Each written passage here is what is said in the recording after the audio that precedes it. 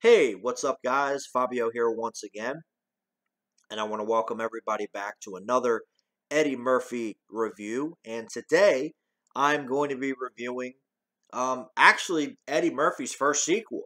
Yeah, it is his first sequel, and it is Beverly Hills Cop 2, which I actually enjoy this the most. This is my favorite Beverly Hills Cop movie. Um, I think it's superior to the first movie in every way. I think it's funnier than the first movie. I it definitely has more action than the first movie, which I like. And even though it didn't make as much money as the first one, and I know Eddie Murphy does not like it, whatever. Uh, Ed, I love you, but I disagree.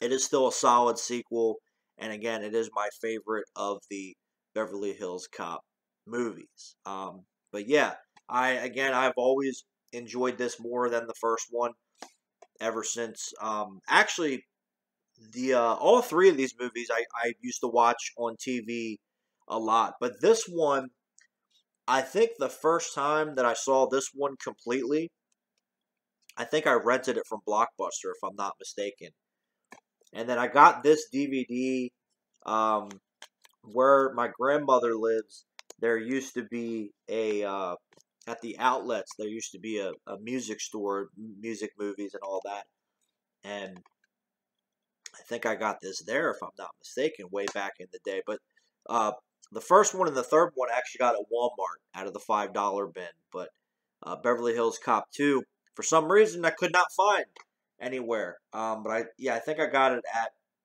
the uh, the there was like a movie music store and I got I actually got a number of movies there back in the day. But yeah. But yes, Beverly Hills Cop 2, Eddie Murphy's first sequel, actually. Um, and again, I just really, really enjoy this movie. Um, it's really like I I don't know what my favorite Eddie Murphy movie is. I really don't. Um, it's really hard to pick one right now. Maybe after I'm done doing all these reviews, I could kind of figure it out. But this is up there. Um, this is definitely, you know, my favorite. It's always been my favorite Beverly Hills Cop. If I, you know, yeah, it's always been. It's always been my favorite because again, it. I think it's funnier than the first movie. I really do. Um, especially the camaraderie part between uh, Axel and, and Taggart and Billy, you know, because they seem like genuine friends. They really do seem like genuine friends in the movie, you know, and they use the experience from the first movie and then in between because you see the picture of them where they went fishing. Um, you know, just how fuck, dude, how could I forget about talking about Ronny Cox in the first movie. Fuck, man. Like, ugh. I completely for I blanked on, on I don't know why. And his name Okay, well his name's not anywhere on the DVD, but it is on this one. I don't know why they didn't put it on the other one. I don't fuck that kind of pisses me off a little bit. Um yeah, so I'll have to talk about Ronny Cox more in this one. Um, but like I was saying, you know, it feels like they've been friends for like a long time. Their chemistry's better.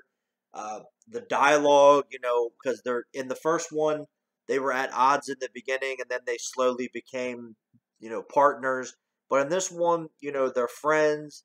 They genuinely care for each other.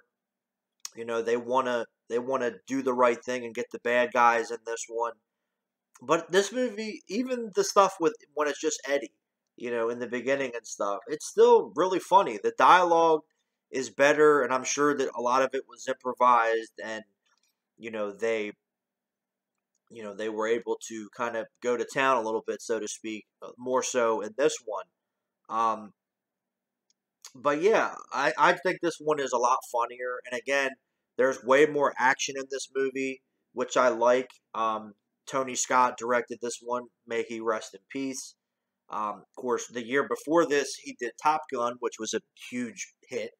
But you know, right from the get go, there's a, you know, the movie opens up with a jewelry store robbery, you know, and then it goes into, uh, you know, then they're like in a gun club, so there's a little bit of shooting in there, not like action wise, but you know, um, there's a little bit of you know gunplay in there.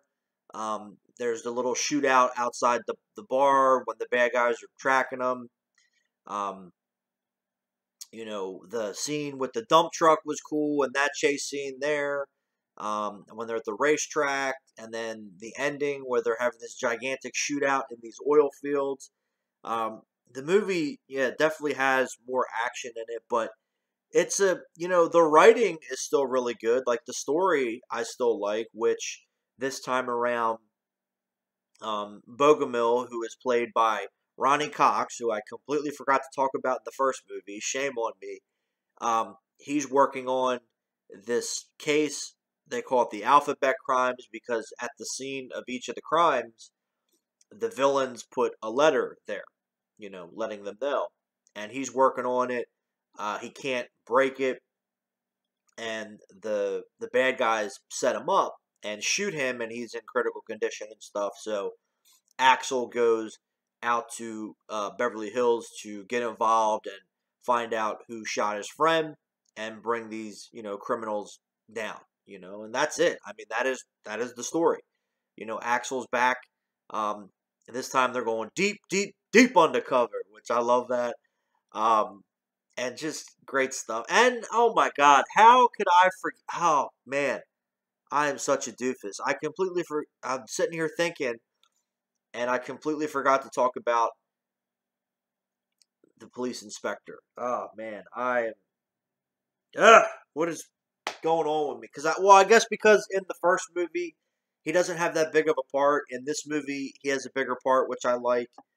And then, of course, in the third movie, he dies, which I wasn't, you know, which I get why they did it, but I would rather they had not do it that way. And his name isn't even on the thing, but I completely forgot. Oh my god. Um, but yeah, I mean, it's a you know the story's good, the writing, you know, when they're trying to figure out the bad guys and stuff, all that is good. I think it, you know, it's it's a it works at least in my opinion. Um, and again, the action is is really good. It's really funny. I mean, the humor is still there. So it took you know everything that worked in the first movie and built off of that which is how good sequels work. You know, this is definitely a solid sequel, and it's my favorite. Again, it's always been my favorite Beverly Hills Cop movie. You know, I've always enjoyed this one the most because of that. It took everything that people liked about the first movie, that I liked about the first movie, and it just made it better. Again, in my opinion, it made it better. It made it a better movie. You know, I think it's funnier. You know, the action's bigger and the cast is there is a phenomenal cast in this movie. Not only do you get the the principals from the first movie, Eddie Murphy I think is better in this one. John Ashton, Judge Reinhold definitely better. Uh, Jurgen Prochnow is the the lead villain. I thought he was great. Um, Brigitte Nielsen is in it as well. Of course, she was married to Stallone at the time. You know, she was good. Ronny Cox comes back from the first movie. I thought he was great. Uh, Paul Reiser has a bigger part in this one. Um, the guy that played the police captain, who actually was a real Detroit cop at the time, and he ended up becoming uh, city council, the the president of city council. He, you know, is in all three of these movies. Um, it's the only movies that he did. Uh, Gil Hill is his name. Gil Hill. Yeah, he was actually a real uh, Detroit cop, and I don't know. Like, I would love to hear the story of how he got involved with the movies. Um, he got a lot of offers to do more movies, but he didn't do it. He only ever did the Beverly Hills Cop movies. Um, he actually, sadly, he actually passed away a number of years ago. Well, about six years ago now. I was reading, um, which I did not know that. But yeah, he ended up passing away. But he's great. Also, um, Robert Pastorelli from Eraser and Striking Distance is in the movie. He's in the beginning. He has since passed away as well. Um, and then Frank Pesce comes back from the first movie. Which was cool. Uh, Gilbert Gottfried has a small part in this movie, which was really funny. Um, his I don't know why his name's not on the back, but Dean Stockwell from Quantum Leap, he's one of the villains. Um, so there is a phenomenal cast in this movie. Uh, Harold Faltermeyer came back to do the music, which I really like the score for this one. I do have the soundtrack as well. Uh, Shakedown is on there. Shakedown, take down, break down. Everybody walks into a crowded line, which was actually Bob Seger's first number one song. Um, I love Bob Seger. He's a great musician. And not only was it his first number one song, but it was nominated for an Oscar and a Grammy I don't know if it didn't win the Oscar, but I think it might have won a Grammy. I'm not sure on that. But uh, very, very cool nonetheless. And there is actually a little featurette about that song on here. Um, the other song that's in that I really like is There's Got to Be a Better Way. That's a really good song. Um, you know, I, yeah, this movie, again, Tony Scott, you know, one great director. I I miss Tony Scott. The circumstances were I remember when he passed were were extremely sad. Um, you know, I just wish he could have got help and got better, but sometimes it's too late, unfortunately. But I still enjoy his films very much, um, and this is actually one of my favorite of his movies. It's right up there and again, Tony Scott, it's hard to pick. Um, you know, Last Boy Scout, this movie, um, you know, so many great films that he did. Uh, I wish he was still making great movies, but unfortunately, no. Um, but yeah, and Eddie Murphy actually wrote the story to this as well. So I don't know why he doesn't like it, but oh well, I'll get more into that in a minute here. But yeah, I mean, this movie's top shelf. It's top notch, without a shadow of a doubt. You know, definitely. Again, and this was you got to remember, this was the '80s. This was sequel mania. Um, but you know, this is definitely one of the better sequels out there, at least in my opinion. And nobody ever brings this movie up. I never hear people talk about Beverly Hills Cop 2. I hear people talk about the third one because they bitch and complain about it. Um, but I don't think it's that bad. It definitely has a lot of issues, but I don't think it's one of the worst sequels ever made. Um, I've definitely seen Beverly Hills Cop 3 on a lot of of those type of lists, you know, worst sequels ever made, but I would not put it on a on a list of worst sequels ever made. That's just me. That's just my opinion. Um, but I never this movie doesn't even get a mention anymore, which is weird cuz when this came out, it was a big hit. It did not make as much as the first movie, but it was a big hit. Um, and I forgot to mention this, but the first movie was actually the highest rated or the highest grossing R rated movie until uh, The Matrix Reloaded came out in 2003, which is very cool. But yeah, um, the first Beverly Hills Cop it made over 300 million in 1984. So there you go. Um, but this was a big hit when it came out. The reviews were mixed. You know, people people liked it, people didn't like it. Um, but it made it made some really good money. It made about as half as the first one, which I guess from what I read and stuff is what they expect a sequel to do. Um, but it was still very successful in 1987 at the box office. It was it was a big hit back in the day. Um, but yeah, I don't know why this movie does not get talked about more. It's very underrated, in my opinion. Um, again, my favorite Beverly Hills Cop movie. Uh, definitely one of my favorite Eddie Murphy movies. And again, it's a it's a good mix. It shows that Eddie can do action and comedy, which I know was one of the issues with the third movie because they took it too seriously. Um, but the first two are still really funny. You know, after all these years, they're still really funny. Um, and yeah, I mean, I think Eddie gets to be funnier in this one. I mean, right from the get go, from the beginning, when he's talking to Robert Pastorelli, you know, I need more credit cards. When you need them, I need them in three hours. Look, the titty woman ain't happy. You know, like, don't worry about the titty woman. Like, that shit's funny. And Um, you know, I don't I don't do business with cops. This guy's a cop, and I know a cop when I see one because I used to be Muslim and I can smell pork. And yeah, pork. Yeah, Allah Akbar. And he fucking just walks away. Like you could tell. And in the first one, I mean, they definitely let him go, but it seemed like in this one they just let Eddie go more and more and more. Um, you know, Axel Foley, building inspector. No, this is wrong. This is the wrong plans. They don't want any right size in the house. But that's wrong. I don't care. They're paying for it. You know, it's just he takes over this house. Look, get it. Look, get a drink. You know, there's beer in the fridge. You can go behind the bar. There's some swimming trunks. Look, look at the titties on TV. Like it's just, it's just hilarious. The scene at the Playboy Mansion is great. What do you do? Follow your dick. Beep beep beep beep beep beep beep. beep. I I'm the pool guy, uh, but the pool was cleaned yesterday. Well, there was an accident. What do you mean there was an accident? Do I have to spell it out for you? Somebody did something in the pool, and I got to go in there and clean it. You know, uh, Hef, I I love your magazines, and you know, I I guess Hef was a big fan of the first movie, and he allowed him to come to the mansion and stuff. So that's really cool. Um, you know, but you know that that scene's hilarious. Chris Rock is actually the uh, the valet. Was one of his first movies, which is cool. Um, you know, Billy, who do you think you are? Clint Eastwood? Dirty Rosewood? I need authorization. Bah, bah, bah. Authorized. Like great stuff. Uh, and yeah, Judge Reinhold gets to have a lot of fun.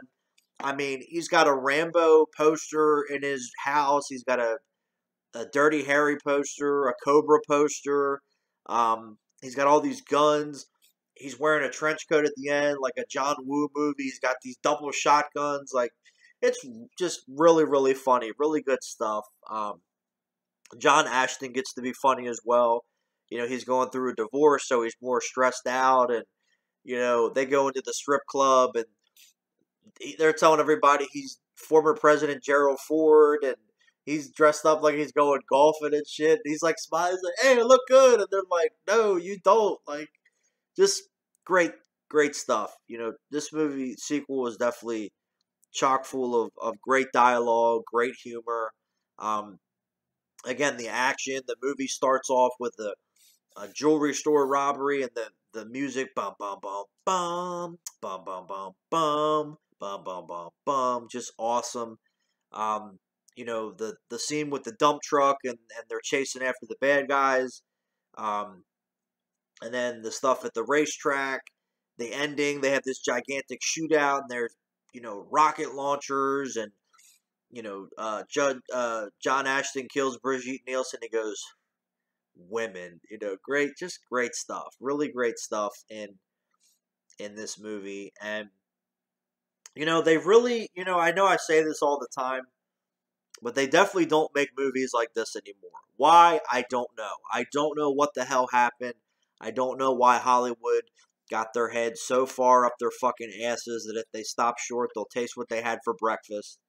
But, you know, I truly miss movies like this. You know, action comedies like this with a solid cast, great practical stunts and explosions, you know, great scripts, you know, fun dialogue and people can say whatever they want about all three of these movies. I'm sure there's people out there now that shit on these movies, but you know, these were big deals. Even the third one, when the third one came out, it was still kind of a big deal back in the day.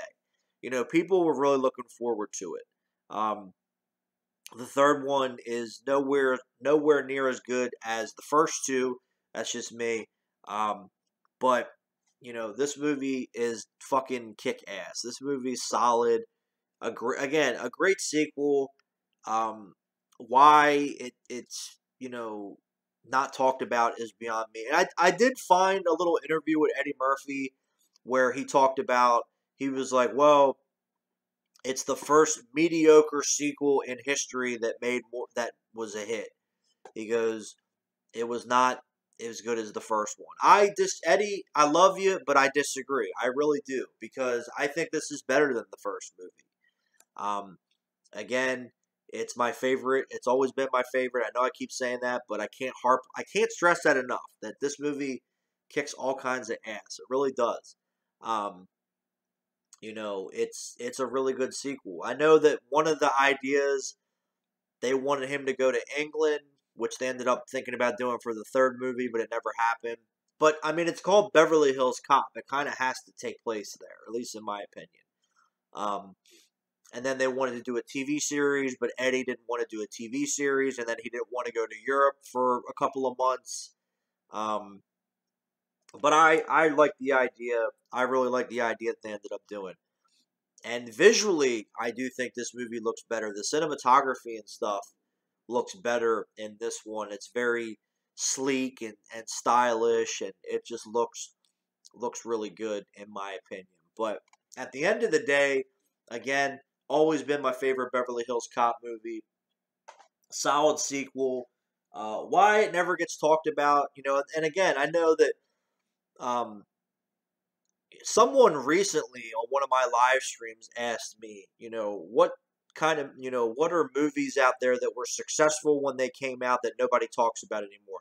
Besides a lot, Beverly Hills Cop 2, you know, it came out, it made money, it was successful, but now people just don't talk about it anymore. Why? I have no idea. I really don't have an idea as to why it does not get discussed more often. And it should, at least in my opinion. But anyway, so I hope that you guys enjoyed my review of Beverly Hills Cop 2. Again, these are actually being pre-recorded, um, but the if my phone, if I can behave, but the next Eddie Murphy uh, movie review will be coming to America. Um, technically, Raw came out after the. Well, actually, Raw came out before this, if I'm not mistaken. Let me just look here quickly because Beverly Hills Cop 2 came out in May. Oh, it actually came out. Okay, I thought. I don't know why I thought Delirious or Raw, my bad, came out. It came out after. It came out in December. Um, but I guess it was filmed before because you don't hear people mention it. But um, so next movie wise will be coming to America.